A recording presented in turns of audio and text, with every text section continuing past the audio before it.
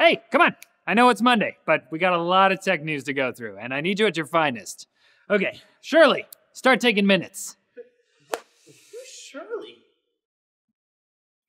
I don't know.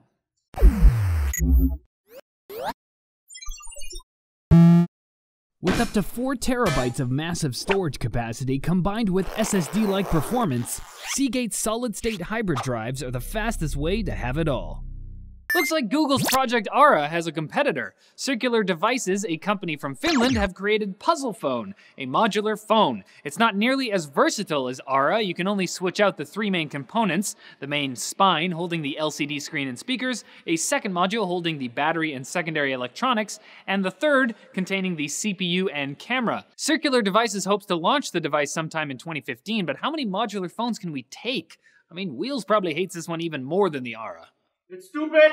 It's gonna fail. See, that's what, that's what I'm talking about. Last week, Sony Pictures offices worldwide were hacked by a group called Guardians of Peace, but we didn't actually see any secret content leaked. Now, five films have spilled onto the web Fury, which released in October, as well as unreleased films Annie, Mr. Turner, Still Alice, and To Write Love on Her Arms. Sony suspects that North Korea is behind the attack since the film studio is set to release The Interview, a comedy about assassinating Kim Jong un.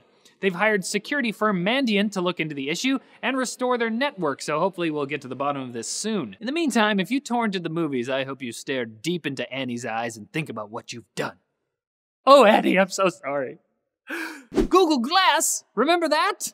It's a thing. People used to wear it on their face. Well, we're still a while away from a consumer release, but the Wall Street Journal is reporting that the next version of the headset will feature an Intel processor, which would be slightly more exciting if it still looked like it was going to be a real, everyday consumer product. According to the report, Intel plans to promote the device to companies such as hospitals and industrial manufacturers, which is where I said it belonged when I did my review, so yeah, I'm pretty good at predicting things, so if you wanna if you need some predicting done, can just tweet me or something.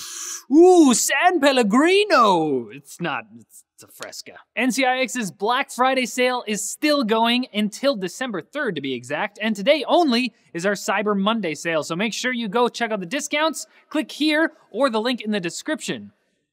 You won't regret it. All right, that's it for Netlinked Daily, guys. Thanks for watching. Don't forget to like and subscribe for more videos like this from NCIX. All right, Shirley, did you get all that? Let me see. Let me see that. This is a picture of a unicorn.